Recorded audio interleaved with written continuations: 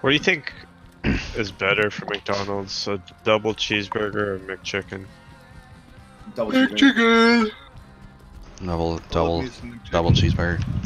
Double cheeseburger. You get more value out of it. Okay, well that's not what he's asking. you That means better.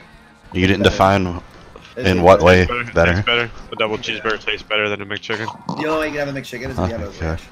Hell yeah. Well, Ugh. Chicken like ranch. Ugh, I hate that. don't talk. Don't dip. Nah, dude. Yeah.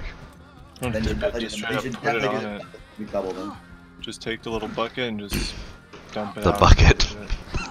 So. I need a bucket of ranch.